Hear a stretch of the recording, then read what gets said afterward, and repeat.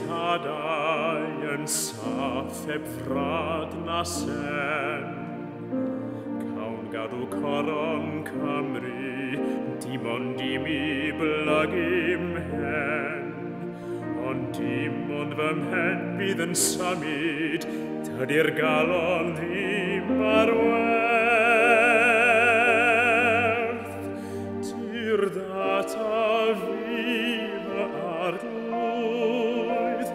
rhoi mi,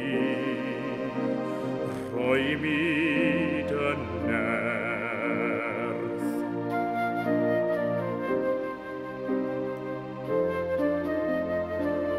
A chyd ar nerth ro hefyd, dan merwch merch dair oed, a chyd ar galon dan er, ro hyder hefyd, yn ein hyder cariad, ac yn y cariad gwen, ac yn y wen, roi fas yr iad.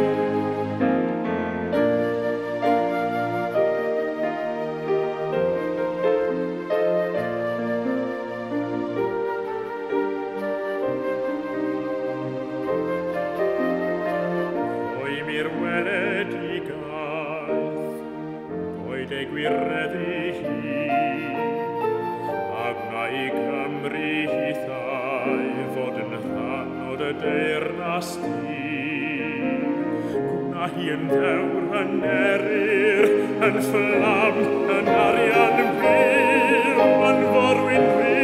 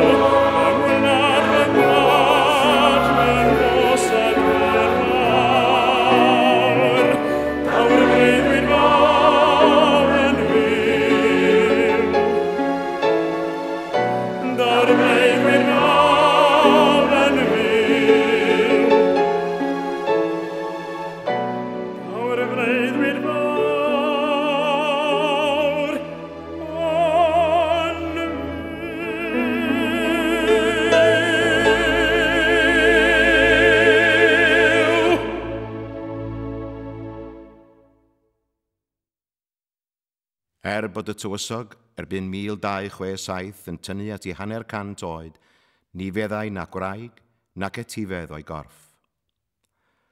Y 1274, ailgodwyd cynllun a wyntyllwyd o bosib y 1265, sef priodas rhwng Llywelyn ac Elinor, merch Simon de Montfort. Roedd tras Elinor yn arichel.